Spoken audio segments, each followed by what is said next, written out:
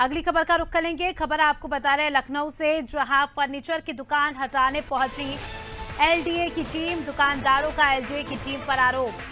Bulldozer लाकर दुकान तोड़ने का आरोप है। स्टे होने के बावजूद भी नोटिस देकर नहीं चलाया बुलडोजर। दुकानदार अधिवक्ताओं के साथ पहुँचे मड़ियाव थाना। एलडीए के कर्मचारी के खिलाफ तहरीर दी। तो फर्नीचर की दुकान हटाने पहुँची एलडीए की टीम।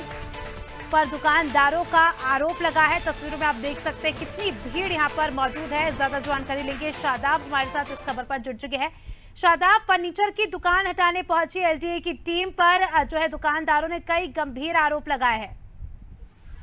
देखिए, बिल्कुल आपको बता दूँ कि एक और जहाँ लखनऊ विकास प्राधिकरण का बुलडोजर गरज रहा तो दूसरी ओर जो स्थानीय लोग हैं, दुकानदार हैं, उनके गंभीर आरोप थे कि उन्होंने कोर्ट से स्टे ले लिया है। उसके बावजूद उनके दुकानों पर, उनकी जगहों पर बुलडोजर की कार्रवाई की जा रही है। इसी को लेकर दुकानदारों और स्थानीय लोगों में रोष पैदा हुआ, जिसके बाद सैकड़ों की तादाद में स्थानीय लोग और दुकानदार, साथ ही साथ अधिवक्ता मड़ियाव थाने पहुँचते हैं और गंभीर आरोप लगाते हुए थाने का घेराव करने लगते हैं। दूसरी ओर अगर हम लखनऊ विकास प्राधिकरण की बात करें तो लखनऊ विकास प्राधिकरण का कहना है कि वो जो ज़मीन है, वो ज़मीन जो है लखनऊ विकास प्राधिकरण से रिलेटेड है, ऐसे में उनको कई नोटिसें जारी की गई।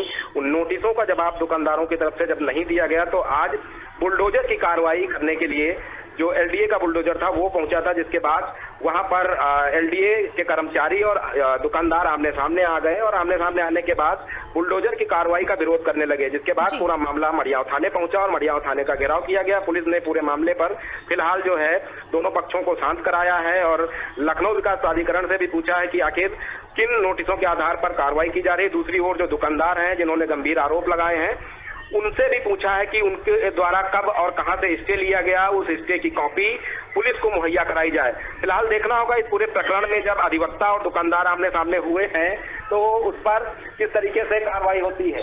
जी, बिल्कुल, देखने वाली बात होगी क्योंकि लोगों में भी काफ़ी ज़्यादा यहाँ पर रोष व्याप्त है।